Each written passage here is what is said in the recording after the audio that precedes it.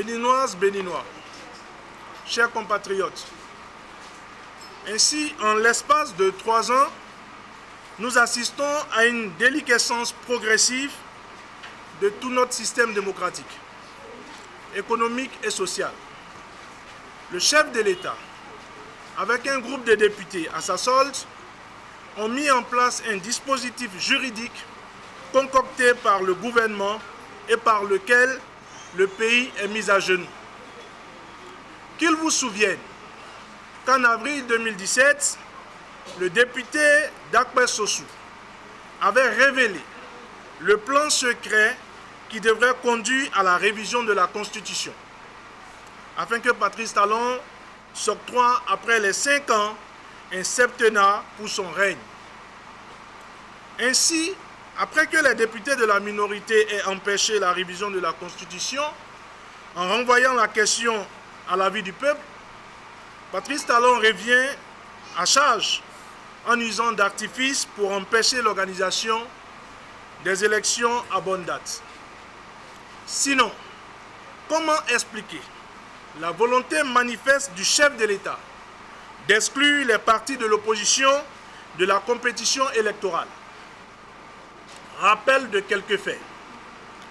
Pendant que le processus électoral est lancé le 1er février 2019, la Cour constitutionnelle prend la décision de rajout d'une pièce supplémentaire obligatoire constitutive du dépôt des dossiers de candidature, le fameux certificat de conformité.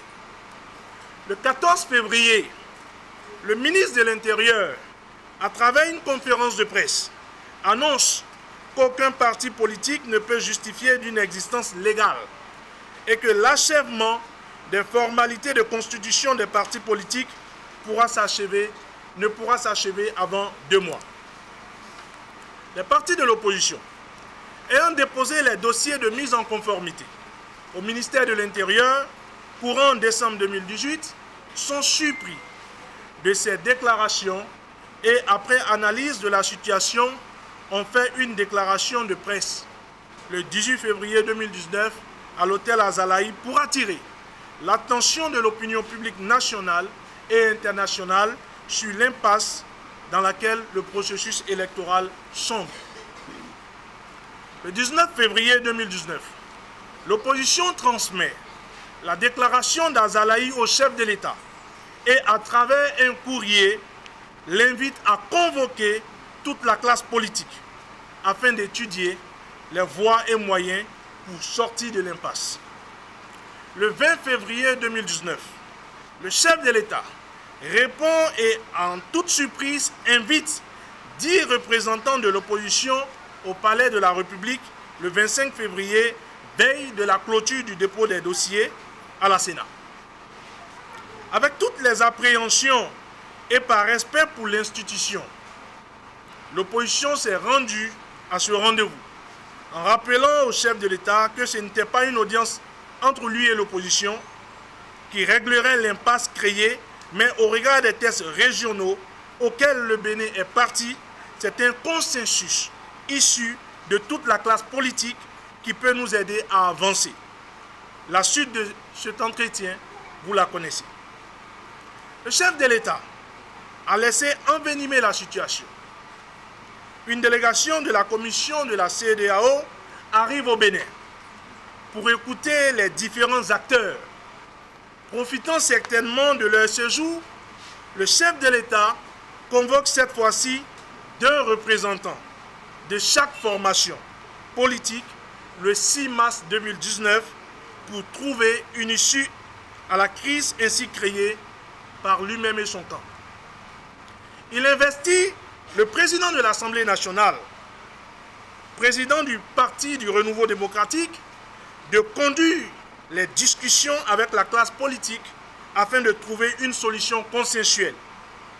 Au même moment, on assiste à une bataille rangée entre M. Adrien Mbedi, président du Parti du Renouveau démocratique, la Commission électorale nationale autonome et la Cour constitutionnelle à travers des dénonciations troublantes.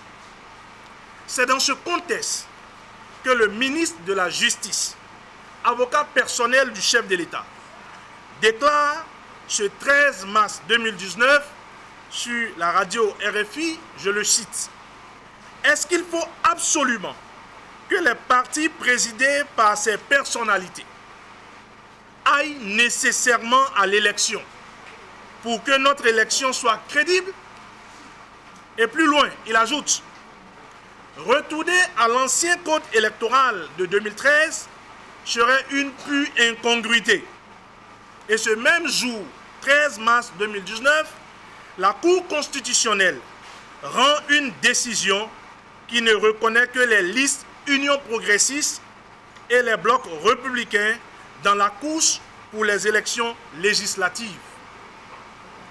Ces deux faits confirment à suffisance que le régime de la rupture nous distrait dans un jeu de dupes orchestré avec la complicité de M. Adrien Mbedji, président de l'Assemblée nationale et président du Parti du Renouveau démocratique.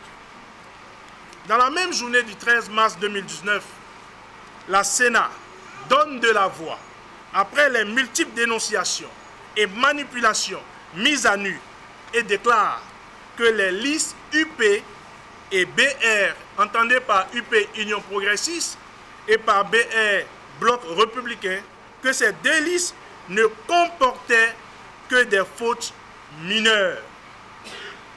En le lisant ainsi, en le disant ainsi, le président de la commission électorale nationale autonome confirme qu'il existe bien des irrégularités sur les listes des partis du chef de l'État.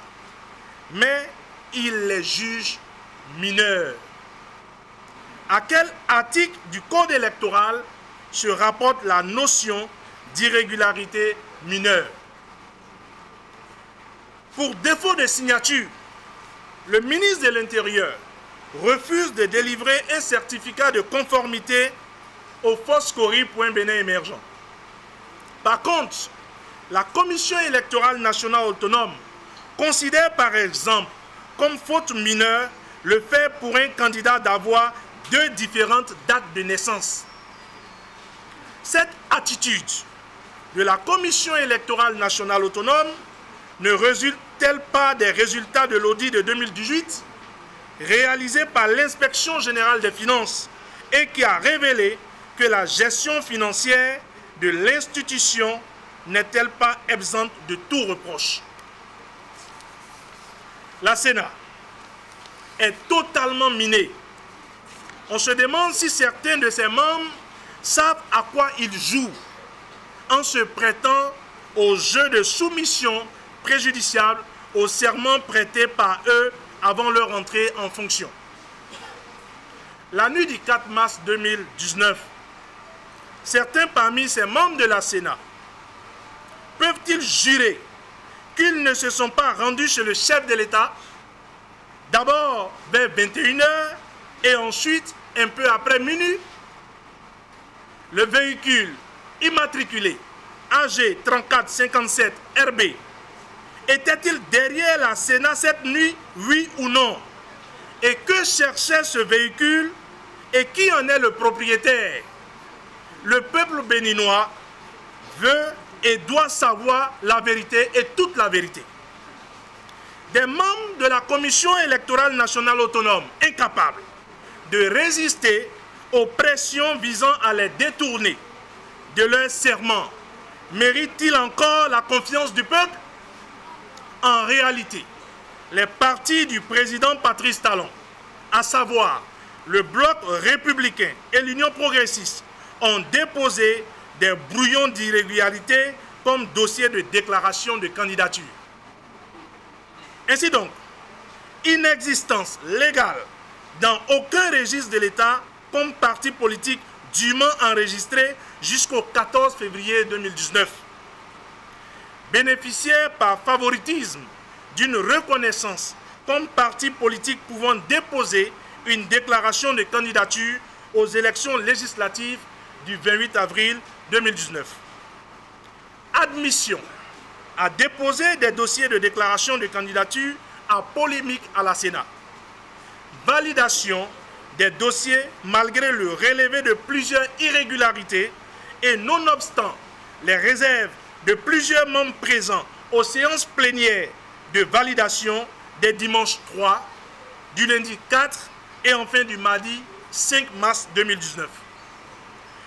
Le climat dans lequel la Commission électorale nationale autonome a examiné les dossiers est surréaliste et porteur de discrédit sur la réalité de son autonomie, sur sa réelle neutralité. Ah, petit A, en ce qui concerne l'Union progressiste, le peuple béninois exige la vérité sur le cas du sieur Aristide Nyansounou, sur celui d'Abdul Razak Fefefe relativement à la qualité de leur procuration, qu'en est-il? Nous voulons comprendre. Le peuple béninois exige la vérité sur la déclaration de candidature de l'Union progressiste relativement à la justification de la signature du sieur Éric Sangan. Qu'en est-il Nous voulons savoir la vérité. Qui a introduit postérieurement au dépôt de déclaration de candidature le logo de l'Union progressiste qui manquait au dossier de l'Union progressiste Nous voulons savoir. Qu'en est-il Et puis, il nous faudra dire en ce qui concerne le sieur Moncho Yao, s'il n'a pas mis un récépissé en lieu et place de la photocopie de sa carte d'électeur. Qu'en est-il Et nous voulons comprendre. Le signataire de cette déclaration a-t-il justifié avoir reçu mandat à cet effet? Pourquoi et qu'en est-il? Voilà autant de flou qui appellent à ne pas accepter le dossier de l'Union progressiste, un des partis politiques du président Patrice Talon, puisse être retenu pour les élections législatives du 28 avril prochain. En ce qui concerne le bloc républicain, la déclaration sur l'honneur du candidat Ogou Ale porte-t-il sa signature? Le peuple béninois voudrait savoir la vérité et toute la vérité. Le signataire de la déclaration de candidature du bloc républicain a-t-il justifié avoir reçu mandat de le faire? Qu'en est-il? Nous voulons savoir toute la vérité. Outre ces graves irrégularités, si les responsables de la Commission électorale nationale autonome n'apportaient pas sans délai les justifications, les disculpants, il y a les graves anomalies quant au traitement de faveur dont ils, ont pris parti. Pour M. Talon, ont visiblement bénéficié de la part de plusieurs autorités et des services de l'État. Des voix commencent par s'élever, déjà, de l'intérieur même de la Sénat. Il serait bon, d'après des sources bien sérieuses, interpeller la conscience de chaque membre de cette noble institution. La Commission électorale nationale autonome, chargée pourtant d'un rôle central dans l'organisation, la collecte, le traitement et la proclamation primaire des résultats. Au regard de tout ce qui précède, les forces de l'opposition exigent la démission et l'arrestation des membres de la Commission électorale nationale autonome pour avoir trahi leur serment et perdu toute crédibilité au regard des troublantes révélations mises au grand jour. Les forces de l'opposition exigent la démission du ministre de la Justice qui prône manifestement une conception bien drôle des élections en démocratie et qui est en, et qui est en flagrante contradiction avec les déclarations du chef de l'État. La libération immédiate des quitus fiscaux de certaines personnalités politiques de l'opposition encore confisquées à la Direction générale des impôts alors que ces personnalités politiques ont déjà payé tout ce qui leur a été imposé. La désignation des médiateurs de la CEDAO pour conduire avec la classe politique le processus du consensus voulu par le chef de l'État afin de pouvoir déboucher sur une élection inclusive. Car à cette heure où je vous parle, M. Adrien Mbedji, président du Parti du Renouveau démocratique et président de l'Assemblée nationale, est disqualifié pour conduire la médiation dans une pareille crise, car il ne peut être juge et parti. Par ailleurs, les forces de l'opposition félicitent le peuple béninois pour sa mobilisation et le succès sans faille de la marche du 11 mars 2019. Nous tenons également à féliciter les forces de l'ordre pour leur remarquable professionnalisme. Les forces de l'opposition invitent le peuple béninois à se tenir mobilisé et prêt et mettre en garde le gouvernement contre toute interdiction de marche pacifique qui les amènerait à faire usage de l'article 66 de notre Constitution. Vive les forces de l'opposition, vive la démocratie, vive le Bénin, Dieu bénisse le Bénin, Je nous vous remercions.